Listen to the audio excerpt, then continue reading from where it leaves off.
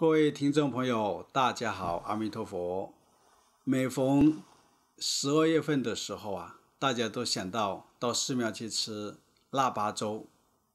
今年的腊八节呢，是西历的一月二十四号。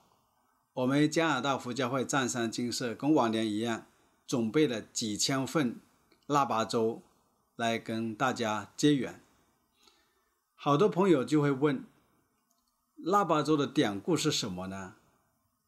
其实腊八粥的这个因缘呢，是纪念释迦牟尼佛成道的过程。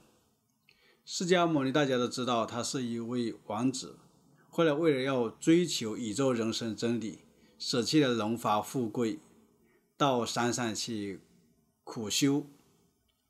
后来他修了六年以后，感觉到。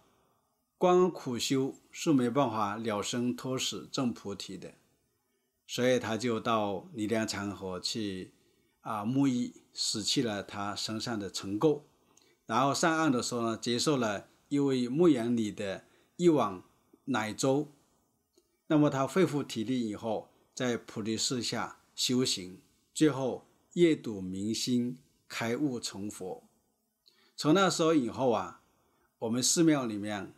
就会用腊八粥来纪念十二月初八释迦牟尼佛成佛的过程，所以，我们湛山金色每一年在十二月初八都会准备好多的腊八粥来给大家广结善缘，希望大家吃到腊八粥以后，跟释迦牟尼一样，去除烦恼，开大智慧。